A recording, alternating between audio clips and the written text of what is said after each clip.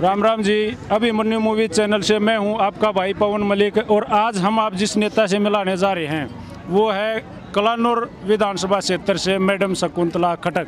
Ram Ram madam ji. Ram Ram. वो ठीक ठाक मैडम जी। कत्ती बल्ले बल्ले। भीड़ देख कर तो पूरी राज्य होगी मैडम जी। भीड़ के अपना परिवार है ये? कमाल कर भीड़ कैसे कह रहे हो परिवार है ये तो। जन सलाह मैम जी जन ना ना परिवार है परिवार।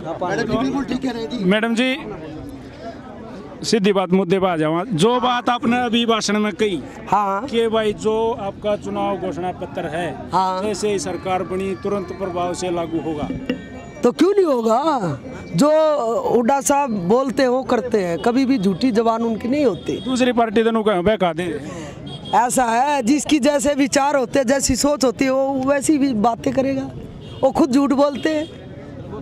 मैडम जी एक बात बताओ। हाँ। आपके टक्कर में कलानूर में सबसे मैन मान लो राम अवतार वाल्मीकि। मैं तो किसी ने मानती नहीं तू माने जा। मैडम जी हमारा तो काम है पूछना पड़ेगा। हमारा काम भी बताना है बताने लग रही के बात? और राजेंद्र वाल्मीकि जी। और मैं कहूँ तू तेरी नज़र में होगा। इन भैया की नज़र में कोई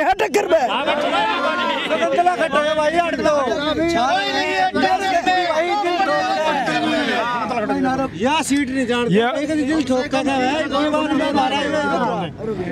मैडम जी भाई नो का है कोई नहीं टक्कर में क्यों पड़ रही हो चक्कर भाई जो भाई का है वो बात पक्की है। पर बीजेपी वाले दिनों का है पचहत्तर पार इनकी बार कांग्रेस का तो बार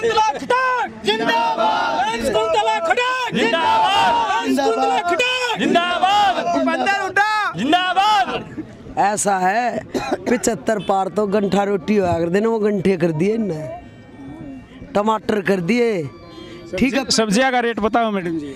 सब्ज़ी का रेट क्यों बताऊँ? सब्ज़ी गंठा रोटी। बीजेपी वाले सब्ज़ी का रेट बताओ। बीजेपी वाले तो बताओ है, हमने कितनी की महँगाई फैला दी।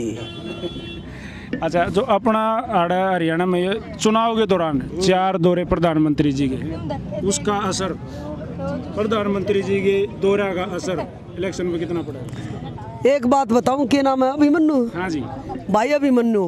हाँ जी हाँ जी। वो दौरे दारे जा लिए भी इनके। यार से दस दौरे लगा दो प्रधानमंत्री। ज़ीरो। मामला घुमा दिया। कति ज़ीरो। पब्लिक इनकी झूठ को समझ चुकी है। कांग्रेस जैसे बीजेपी वाले कहें पचहत्तर पार कांग्रेस वाले भी तो क्या मैं कहते हूँ कांग्रेस वाले ये कहे बहुमत के साथ सरकार आएगी कांग्रेस की। बिल्कुल पचहत्तर पचहत्तर पार से भी ज़्यादा। मैंने ये कहा बहुमत के साथ। बहुमत के साथ। पूरा हंगाला रखे मैडम जी। आंगा नहीं आंगा लानी तो ये है मारा आंगा तो इनके बीच में। मैडम जी जैसे आपका नाम है शकुंतला खटक। मैडम जी दूसरा के गणिया खटक रहे हो इतना भाइयों के इलाज है खटकाएँगे तो खटकाएँगे। इक्यावन सौ वाली बात जो आपने कही इक्यावन सौ रुपये पेंशन ये नु कहे ये लोभ दे रहा क्या इस तो बात बन जाएगी? ऐसा है मैं पहले भी कह चुके हैं अभिमन्यु जी आपको ये बीजेपी वाले अपनी सोच बताते हैं। और हुड्डा साहब के नेतृत्व में जो जबान होती है वह पक्की होती है कच्ची। पार्टी ने और भी लगभग इतने चुनाव घोषणा कर रखी हाँ तो दूसरी पार्टियाँ ने क्या घोषणा करी है? पहले एक सौ चौवन वादे करे थे इस बीजेपी ने एक पूरा नहीं करा। वह बुढ़ापा पेंशन न्यू दी जो कर नहीं रोटी का टुकड़ा नहीं दिया करे न्यू करके दी। ये जो चार महीने मिलती नहीं मैडम जी जो ये किसानों का मुद्दा था अभी इन्होंने दो दो हज़ार रुपये पेंशन के तौर पे किसानों को दिए। आपके पास आपके कांग्रेस पार्टी के पास आपके पास कोई ऐसा किसानों के लिए मुद्दा है? किसानों के लिए मुद्दा क्यों नहीं है?